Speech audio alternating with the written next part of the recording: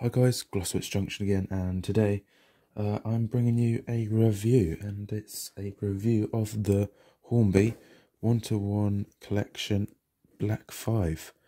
And as you can see, it's limited edition of 1000. Uh, and it's a very, very nice box. And you can see me, hello. Um, as you can see, it is very, very nice illustrated box. You got some gauge, the gauge on there. Um, I'm not sure what that is. I can't remember what it's called again. Um, I know it's to do with the cab detail. Um, as you can see, it's this loco is at Margate, which is down here. As you can see, uh, it's also part of the to One collection, which is also with the Black Five and the Bittern they released. So I want to get them in the future, but for now, I've got this and it is very nice. And as you can see, there's a hit, brief history on it. So if you want to read it, you can pause it. There you go. Um, and over here, you've got some very nice images of it. And that's it stored at Margate. Uh, you can see where it used to, back in the olden days before it got preserved. Um, and then, yeah, it's not much to it on the underside and on top you've got your product code which is R3805 and it's DCC ready. BR class 5MT which stands for 5 mixed traffic. So it can pull passenger or um, like coal wagons freight. And it's as I said it's part of the one-to-one -one collection limited edition of 1000 so um, without further ado let's get into the box now that I've getting into the box, it's not it's just the normal horn packaging, as you can see. Uh, it's the ice block packaging, and then there's the logo inside, which is very normal nowadays. Because I know it used to be the polystyrene box from Hornby. Uh, I'll put this to one side first, because uh, let's have a look. I got this from Derails, and I'll put a link to their website in the description. And one good thing about that, before they send you any loco, they do test it for you. And it's been tested by Saul. I'm sorry if I pronounced your name wrong. Um, in the box, you also have the certificate of authenticity. I think that's how you say it. It's a bit of a mouthful. Um, and as you can see, the number, I've got 524 out of 1000 and it's just basically to say it's a certificate that you've got this loco so that's nice. And then like any model railway train you get a uh, maintenance leaflet. So you've got your general your routine maintenance DCC ready. Uh, you open it up if I can do that. I'll move this out of the way. Get that out of shot um, lubrication, which, you know, over years you'll need to do. Uh, body removal, so it looks like you have to take one of the pins out of the wheels to actually take it off. Otherwise you'll break that little link. And then it also you've got to move the front bogie to get to one of the screws and it's similar in the tender you've got to undo the little wire going between the tender and the loco uh, and then you can access that. Uh, and then you got DCC sound down the bottom which looks like the chips in the tender which is pretty normal for modern locos today. Then on the back you've got safety notice and yeah just just your normal stuff really what you'd expect so if I put all this back in the box, we will get onto the loco itself. And here she is. She is very, very nice. And it is very tight fit. I can't quite, it's very, uh, it's quite a comfy fit. Uh, you got your bag of bits, so you got your brake rig and uh, looks like you got a weird coupling there. I've never seen that style of coupling before. As you can see, uh, you got your two ladders there. If I move this out of the way. Hopefully it can focus on this. Yeah, you got your two ladders, uh, a spare screw, just in case. And then it tells you here where to put the ladder. So it's like a little thing. If I open this up for you, be careful because scissors might be sharp. Just do that. And then get into here and take this out for you. Um, yeah, that's basically all I was expecting. It's just to tell you where the ladders go and how to fit the brake rigging underneath the loco. So, and you can only fit these uh, ladders with a minimum of, I'm guessing that's a minimum of 438 millimeter radius curves. Because I know on my Flying Scotsman, uh, I fitted the ladders and they soon came off because I didn't realise that my corners or the ends of the layout was too tight so they just came straight off. Uh, if I put that over there, we'll get onto the loco now. And here she is. As I said, it's like the normal ice block packaging. Lift that up and then you get like a uh, plasticky kind of bit of plastic just to protect the loco and the tender and the loco are connected so just got to be careful there move that out of the way and here she is black 5 by hornby. It is very very very nice. It is as you can see. Now let's take a closer look at it. Um, as you can see you got this very very very nice lining on the pistons and on the uh, boiler going all the way along as you can see and around the number plate got a nice finish with all them rivets as you can see. And on top there it's a very nice finish. Um, I'm not sure if the smoke on top of the cab detail if that opens. I think it does. Yeah it does. It's a bit like the Hornby Class 08 um, as you can see along the uh, side of the loco you've got again very nice rivets on where the smoke box is around here see I'm not a rivet counter so I'm not sure if that's the right amount um, and then you go underneath the boiler and you've got very nice details and pipe in there. Um, I'm not sure what this long uh, pipe is. I think that might be the injector. Please put down in the comments if I am correct. Uh, I'm not 100% sure, so please don't have a go at me.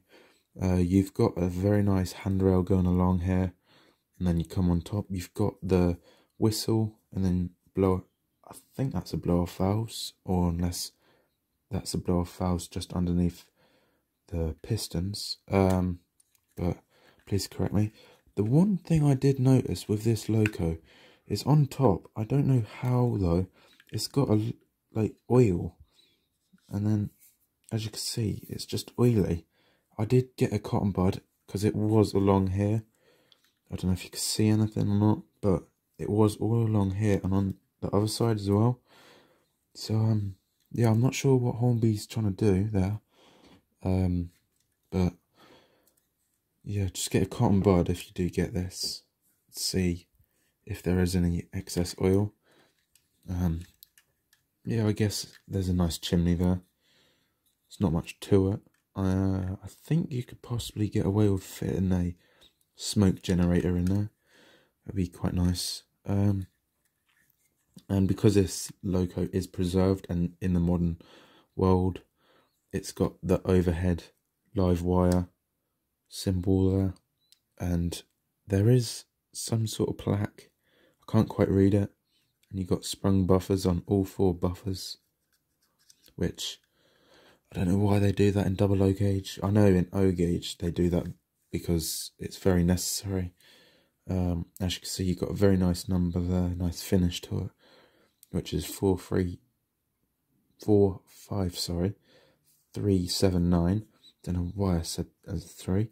Uh, and then you've got a builder's, I think that's builder's plaque of, or where the location of it was built. I think is 1A. Uh, I'm not sure where that was. Um, it might be where Margate is, I'm not sure.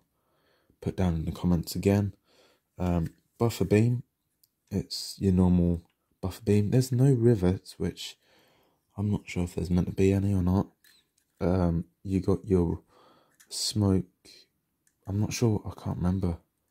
Uh, you got your coupling there, or well, it would be a three link coupling or a screw link coupling. I can't quite remember. Um, you got your lamp irons along the front there, and on the smoke box door.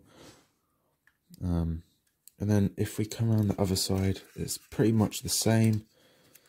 Uh, pretty much very nice linkage underneath all very well done by Hornby um, and there's detail on the small bogey here just along here it looks separately fitted but I'm not sure um, but you got your sand pipes along here and as you can see I mean, it's a little hard to do uh, you've got these little holes just there and there. That's where the brake rigging goes underneath if it wants to focus. So it would go here, here, here, and here, and then last two just there. As you can see, this is what I meant. The wire on the modern locos going between the loco and the tender for the pickups off the tender obviously and it's got quite a bit of resistance on them wheels as you can hear uh, that's where the pickups are as you can see the copper I think it's copper contacts over there. Uh, it's made in China. Um, and then you got your screws holding the tender together. And you've got an option to make it a closer fit but I think it's alright how it is. Um, coming round we've got it's, it's, basic detail for a cab but it's still there so that's nice. The coal could be a lot better but I'm not sure if it's removable or not just what I normally do is put a layer of PVA glue over and then scatter some coal over let that dry and then tip it out and then you've got a nice coal load uh, coming further back onto the tender. We've got the British Railways sign, which is nicely done.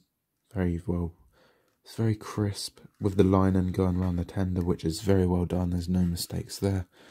Uh, you've got uh, nice uh, handrails around the cab as well, just along here. Uh, I'm not sure what this is, but I know it's to stop the driver and fireman from falling out onto the rails. Put that down in the comments if as well, because it'd be much much greatly appreciated. And then you got a bit of flooring between the tender and the loco here. So when it's gone along, looks like it's all covered up. So you can't see the wires and connectors. And then, I don't know if I can do it, but you got some nice detail uh, on the tender just there. Uh, uh, it's not like other Hornby locos where it has a little pile of coal down here where it come out, but that doesn't really bother me. You're not going to really see this. Um, again, you got nice handrails on the other side, which is quite hard to turn around. And again, if it wants to focus, come on, please, thank you. You got your overhead wires again. Uh, you got another plaque, which, if it will focus, it says LMS number, not sure what number that is. And then there's another one just there which reads 4,000. I'm not sure if that's 4,000 litres in the tender where the water goes in just there with a nice little handle. Um, I'm not sure. Again, more rivets. Exquisite model this is. The amount of detail I know the camera does not do this justice. and where the steps are. I think these are steps on the sides. You got more rivets there, rivets on the buffer beam. Again, like I said, it's all sprung buffers. And then you got your um, pipe there. Um, that's basically all of that. Uh, you got your, I think that's your suspension arms along there, your axle boxes, and then, like with the loco, this is where your brake rigging goes, where them holes are, and just at the back there as well. And you've got your normal NEM coupling, like most locos nowadays. Um, the one downside I've noticed with this loco is you got the silver bits in the middle of the wheels, which I don't know if they're meant to be like that, but it's it's very obvious when you do see them. You got your sandbox up there, same up here. Where your sandboxes are, and it drops down here, it comes out here and here, them two. Um, but yeah, please put down in the comments, uh, like what some of the parts are I asked. Um, be much uh, greatly appreciated. And um, yeah, now for the main parts. So for the packaging, I it's it's very very very well illustrated. It's very nice, as you can see. It's something different from Hornby which is very nice. And then you got your normal, like, with any loco, you get a brief history and how the loco was withdrawn in 2018 for a full overhaul and that. Um, but it's the normal Hornby packaging with the ice block style, like any loco. So I will give this a 8 out of 10. It's it's not the best packaging, but it's very secure. It doesn't move about in there. So that's why I'm going for an 8. The performance of this loco, I will probably... I haven't tested this loco out for myself, but from the videos I've seen on YouTube where they've done run sessions, I will give this probably a 9. It is very, very, very smooth. And obviously you've got to run it in 30 minutes 30 minutes, sorry, in one direction and 30 minutes in the other direction if I just bring it into camera. Um, and then the value for money, Rails of Sheffield was selling this loco for, I believe, a hundred and forty pounds, I believe, which is about the going price of these sort of things. Uh, but obviously I got mine from Derails, which I believe it was a hundred and thirty pounds. So it's a great discount because I know of Sheffield is cheap, but ten pounds cheaper. I'm not complaining. Bargain price it was, and it, was the last one because of Sheffield sold out, and everywhere else is sold out. So good luck trying to get your hands on one of these because they are flying off the shelves. They did. Um, so for value for money, I would give this, I would say a 9, 9.4, 9.5 because it is a very, very, very nice logo And the run and performance is good. Uh, the packaging's good. So it's a win-win situation. Um, obviously, I'll bring you the performance of it when I get my layout running, which I guess shouldn't be too long. Um, I need to get some more few, a few more point motors. Sorry. Um, but yeah, once that's up and running, I'll definitely bring you some videos of this running around there, pulling some coaches and freight. So give you something to look forward to for the future. Um, please put down in the comments what video you want you want me to see what you want to see because I've got many locos. I've got the Hornby Class 800 I can review. I've got many other locos I can review. So please put them down in the comments. Um, don't forget to like, subscribe. Thank you very, very, very much for watching. Uh, take great care of yourselves because I know it's not the best of times we're in. So stay safe and peace.